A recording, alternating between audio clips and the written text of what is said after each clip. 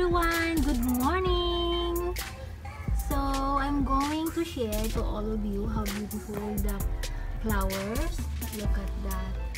I'm sorry, I don't know what's what kind of plant is this. It's just so beautiful. And this is the other one. And this is the gumamela. Look at that. Amazing, huh? Flowers for all of you beautiful ladies, to all the ladies who watching my vlog. This flowers is para po sa inyong lahat. Sa lahat po ng nanonood ko, syempre. Ganda, diba? And this is my favorite beauty regimen. So this is the aloe vera. This is the aloe vera that I always um, put to my face. I apply this on my face as my moisturizer and like aloe vera face mask. It's very hot. That's why the aloe vera a little bit not good. Look at look at this a little bit yellowish. I'm going to cut this one later and I'm going to make a facial mask. Okay pa siya, pa siya.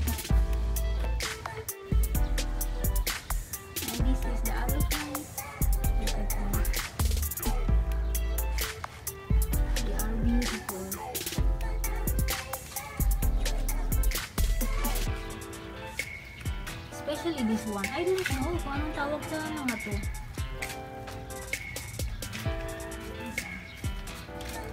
And this is of course the pandan. And the. And this is the lemongrass that my mom and I always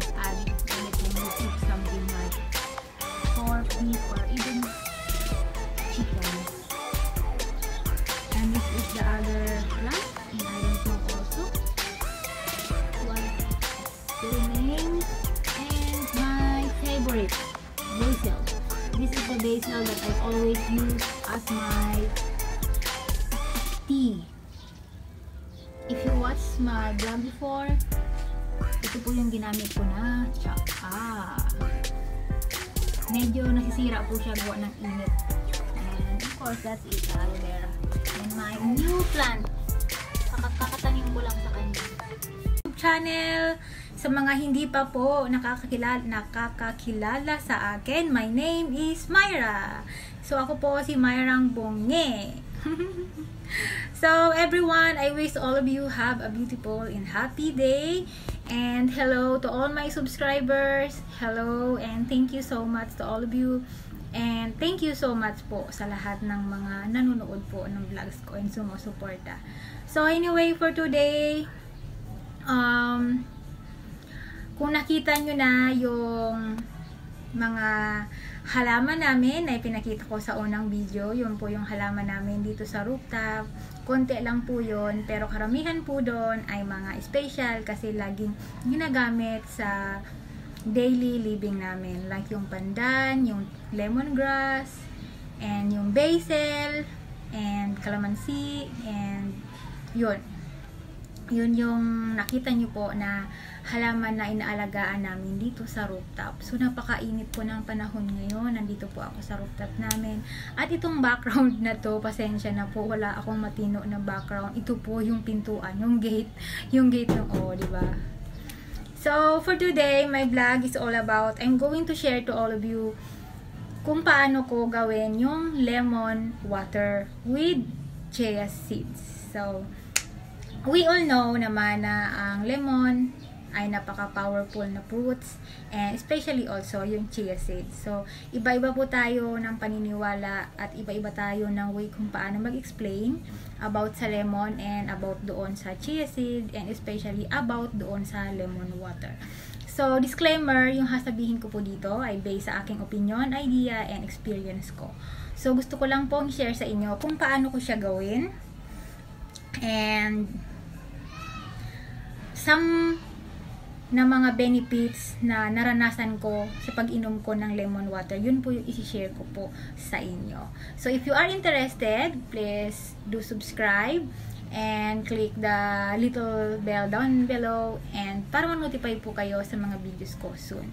So, pasensya na po. I'm a new small YouTuber. So, I'm not perfect to vlog. I'm not perfect sa pagbablog and I'm not perfect sa pag-edit. So, sana po pagpasensyahan nyo po muna yun sa ngayon kasi pinag-aaralan ko pa po at nag adjust pa po ako sa lahat-lahat. So, before I start, mahilig po ako sa lemon. So, lemon person po ako. Natuto lang po ako na, magkahi, na magkaroon ng hilig sa lemon nung nag-work po ako ng domestic OFW sa Saudi Arabia. Kasi yung anak po ng amo ko, araw-araw po talagang um, umiinom siya at gumagamit ng lemon.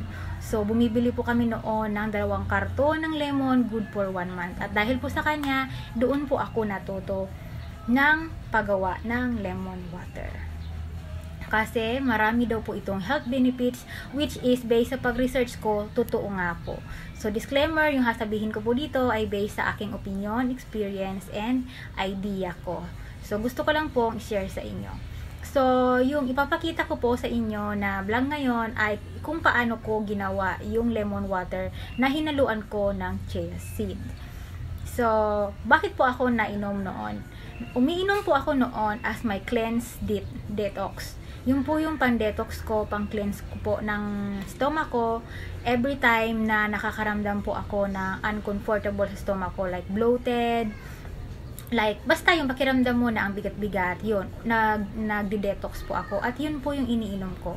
Umiinom po ako noon ng isang malaking tumbler, yung po yung pinakita ko sa inyo, inuubos ko po yun sa isang sa isang maghapon. So, hinaluan ko po siya ng chia seed, yun po ay optional. Pwede ka pong uminom ng lemon water na wala ng um, mga nakahalo na kung ano-ano. Like, just like plain, plain lemon water. Pero, ano po ba yung mga pwedeng ihalo po doon sa lemon water just in case? Pwede mo siyang haluan ng chia seed, peppermint, pwede mo siyang haluan ng honey, pwede mo siyang haluan na slice na um, raw apple, o pwede mo siyang haluan ng pipino, at marami pang iba. So, yun lang yung naalala ko ngayon na pwedeng ihalo doon. Ano-ano yung mga health benefits na naranasan ko sa pag-inom ko ng lemon water kung ano yung na-experience kong tingin ko sa sarili ko na nagustuhan ko and epekto sa akin. So, yung sasabihin ko ay based sa aking experience and idea.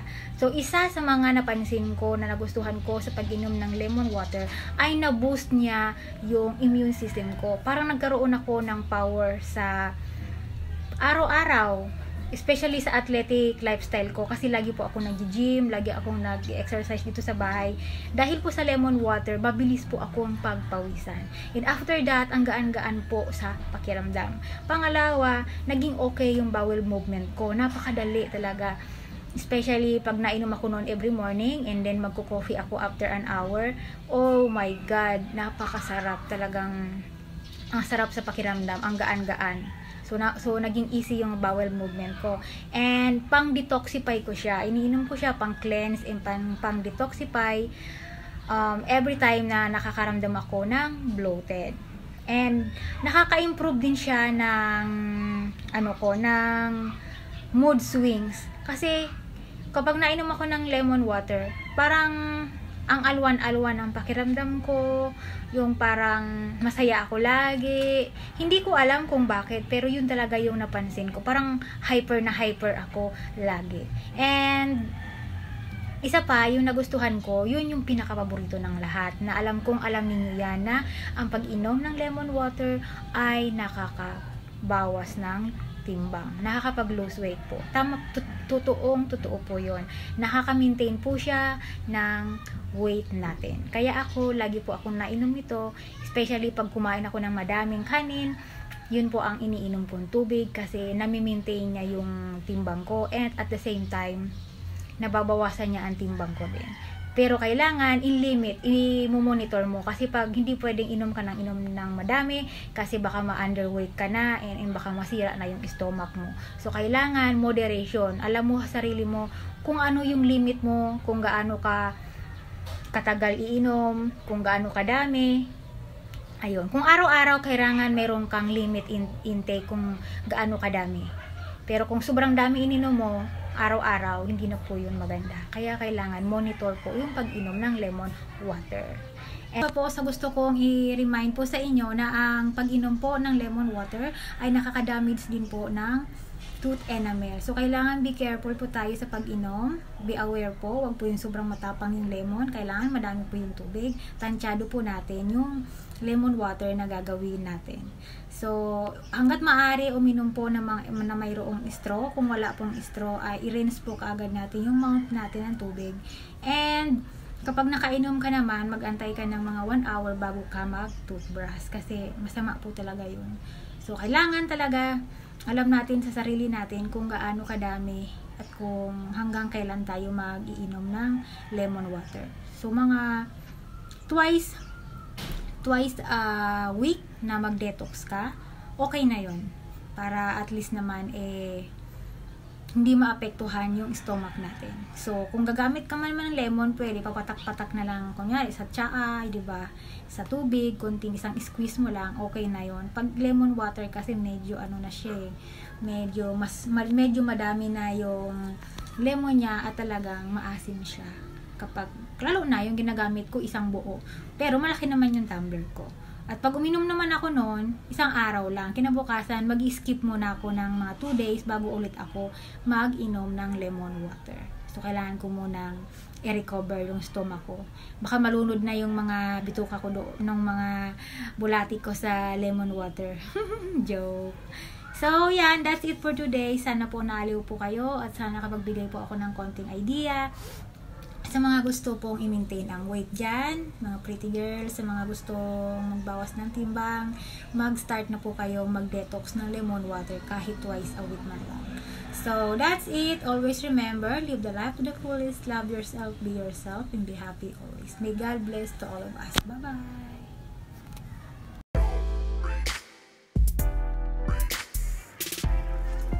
Hello everyone! I'm here now. I'm going to show to all of you. I'm going to make a water lemon. Lemon water. One of my routine and my favorite. I drink like this big. I don't know what is the exact measure of this, but just like that. And lemon and cheers.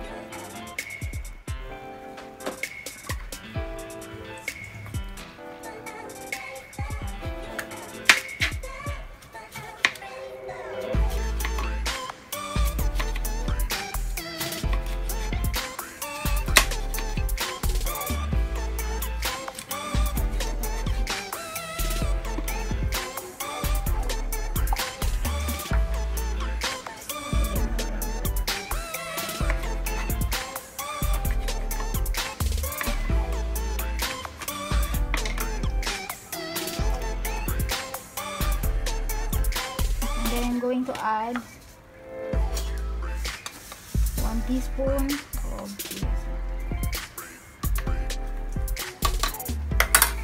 And then that's it. That's my lemon water.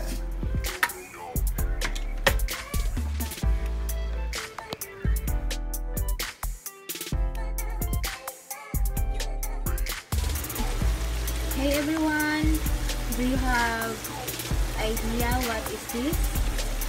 My mom is cooking uh, papaya fruit, the green papaya fruit. Um, she cooked the papaya fruit in coconut milk with a little bit green chili. So that's how it looks like.